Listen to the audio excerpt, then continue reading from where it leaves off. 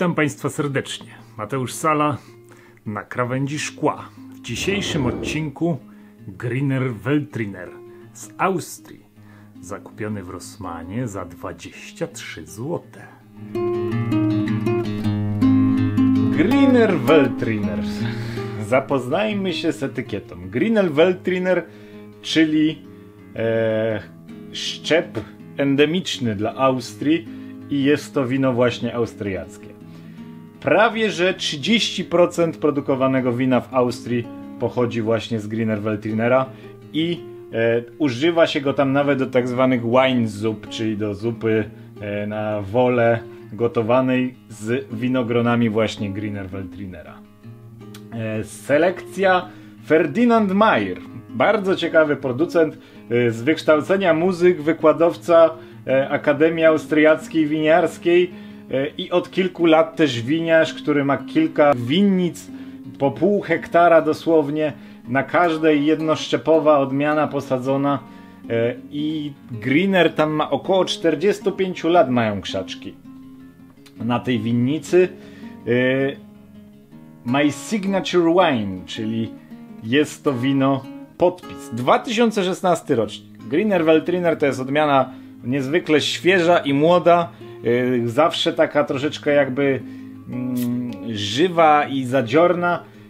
To wino powinno się pić właśnie mniej więcej do roku. Yy, maksymalnie do trzech, jeżeli to jest jakiś naprawdę dobrze zrobiony greener. Greener jest odmiarą wysokoplewną, także można nawet do 100 hektolitrów z hektara zbierać Dlatego w Austrii dosyć masowo yy, przetrzewia się go w trakcie, robi zielone zbiory i ogranicza mocno, aby jakość wina była jak najlepsza, ale jest to wino typowo wiosenne, do jak najszybszego picia. 12% yy, Dolna Austria tutaj. Dolna Austria, czyli region na północ od Wiednia, ten najbliżej nas osadowiony, czyli wschodnio yy, południowa część Region, który jest odpowiedzialny za prawie jedną trzecią produkcji całego austriackiego wina. Austriackie wina w Polsce, jeżeli chodzi o te wina niezwykle niszowe, ze względu na bliskość, spotkały się z bardzo szeroką reprezentacją i jeżeli chodzi o taką niszę właśnie chociażby białych win, mają tam wspaniałą pozycję. No to przejdźmy do degustacji. E, Greener Veltliner, jego rodzicami jest e, Traminer i sam szczep, którego nazwy nie jestem w stanie wymówić. Georg, Georgener, Georgerner. Będzie gdzieś tam w opisie na dole. Barwa.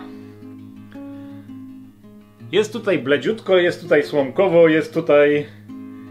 O! Czyżby jakaś lekka mineralność? Z Greener Veltrinera produkuje się trochę win musujących, aczkolwiek jest to dosyć e, niszowa działka. A tutaj trzyma nam się. Trzyma nam się jakiś taki. Troszeczkę jest żywa, ale tak też bywa. Ładnej oleistości. Melon nam się wylał. Tutaj w ogóle już jakiś taki e, opasły wręcz. W bukiecie troszkę takiej miodowo-akacjowej nutki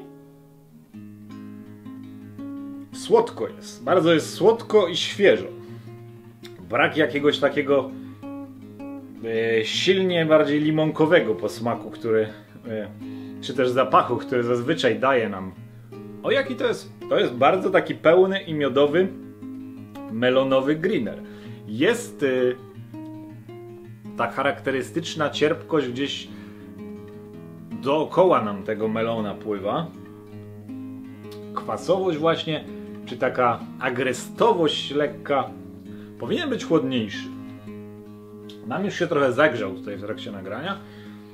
No, myślę, że gdzieś koło 11 stopni ma. Spokojnie.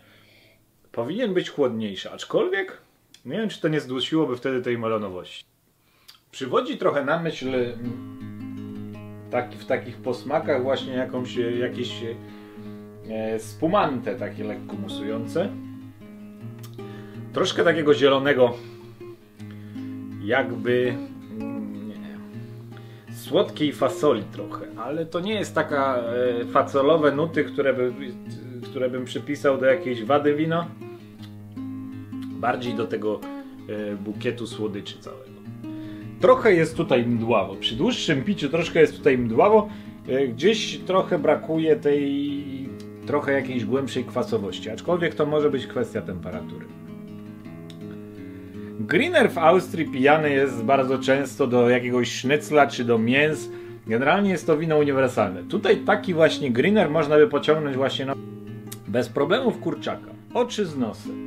Eee, oczy z nosem. Tutaj charakterystyczna dla Greenera słomkowa barwa, ona nie powinna być za ciemna. Oleistość bardzo ładna jak na Greenera. Greener bywa raczej bardzo wodnistym szczepem. Eee, co się tyczy nosa, Nos bardzo jest taki miękki i nawet troszeczkę niegreenerowaty.